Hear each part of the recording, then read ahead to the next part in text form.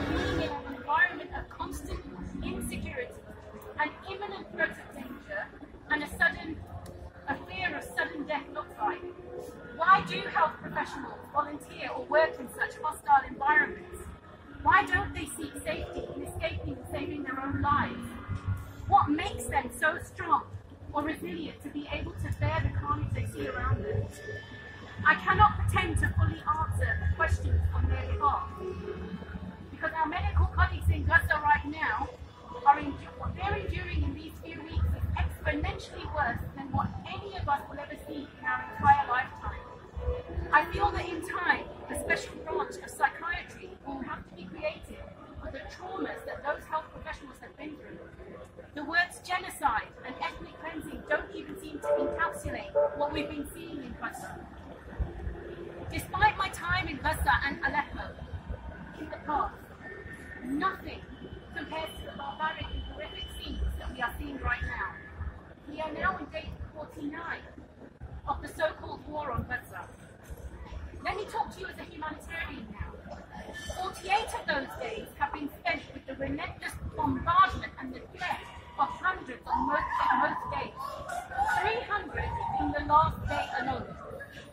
An estimated 15,000 people, that's a very conservative estimate, over half of them children, and 70% that number are either women or children, have been killed.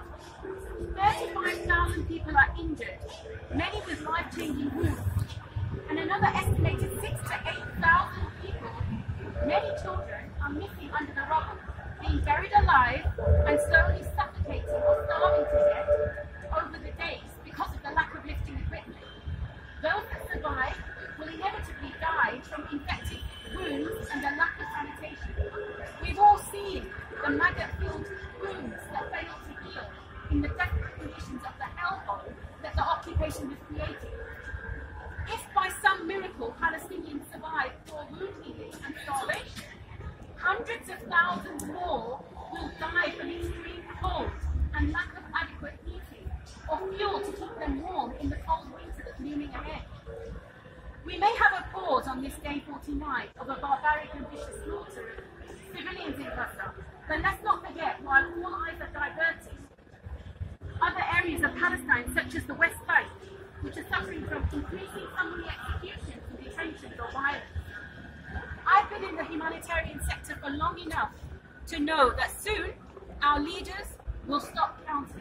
Our media and those enablers of war will stop counting the numbers. They will want us to forget what's happening. This is what happened in Syria after half a million people were killed, so it comes as no surprise to me. Are we going to let this happen? No. Let's focus on what's been happening in the fog of war, shall we?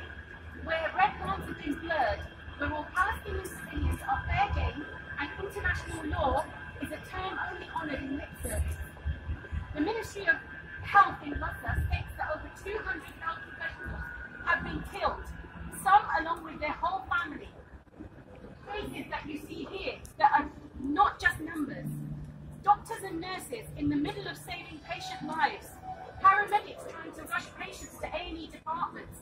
Even the auxiliary staff and porters are not spared. The few that were left in Al-Shifa Hospital were held hostage with their patients alongside regular media blackouts. The deliberate targeting of journalists and their entire salacious attempt to cover up flagrant war crimes. After every media blackout, hundreds of bodies have been found scattered in either the hospital compound or left